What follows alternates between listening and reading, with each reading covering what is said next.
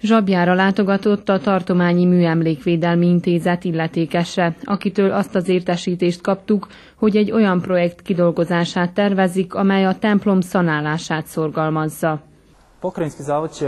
A projektet az elkövetkező néhány hónapban írjuk meg. Elsősorban a tetőszerkezet teljes felújítására lenne szükség. A projekt keretében felmérjük az épület jelenlegi állapotát, valamint meghatározzuk a felújításhoz szükséges pénzkeretet. Ezt követően lehet csak pályázni a támogatásokra a különféle hazai és a külföldi alapoknál. A zsabjai katolikus templomot 1901-ben építették. Az elmúlt években rohamosan romlott az állapota, ugyanis a községben már nincs elegendő hívő, aki karban tartaná.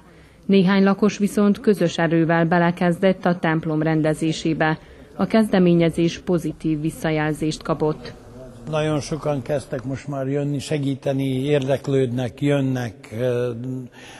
Amikor lássák, hogy az ajtó nyitva van, bejönnek, szétnéznek. Soha nem voltak itten, itten születtek zsebján, itt nőttek fel, soha nem voltak ebbe a templomba.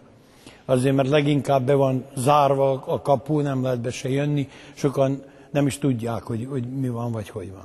Gál Gyula hozzátette, remélik, hogy az illetékesektől kapnak támogatást az épület további felújításához.